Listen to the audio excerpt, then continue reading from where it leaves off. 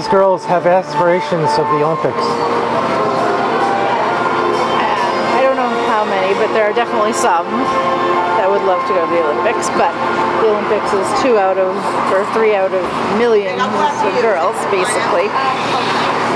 So there are other accomplishments they can get to. Such as? Um, the big accomplishment that some of our skaters here have are their senior moves and free skate tests, meaning they've passed the highest level tests, and dance actually. Um, I just want to see it with a single for timing's sake in this one, and then All um, singles are double, or the double set. double set axles, axle toes, all of that. What's your hardest move? Um, I'm not good at spins, so probably my combo spin, which is a camel catch, tuck, back sit. So how many spins do you have to do to get it right? Um, about like 10 to 20 a day. Wow.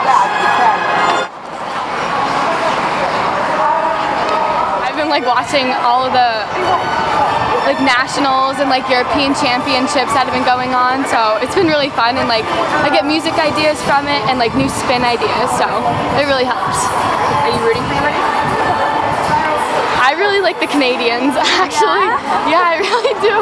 They're good. Kaetlyn Osmond and Gabby Daleman. They're really, really good. And sassy too, so. sassy. They're like very sassy skaters.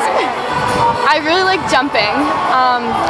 I like spinning too, but jumping is just like so much more natural. And I like like the fact that I can fly. Like it feels really cool. Injuries do you get from this? Do you get I actually cut my wrist yesterday on it. Oh, gee. On what? On a triple toe. On, oh, on your blade? Yeah, so like I fell and I accidentally stabbed oh, myself. Oh, wow. Yeah. Yeah. You get a lot of bruises though. Yes. oh yeah. But I mean, I love it, so it's kind of worth it.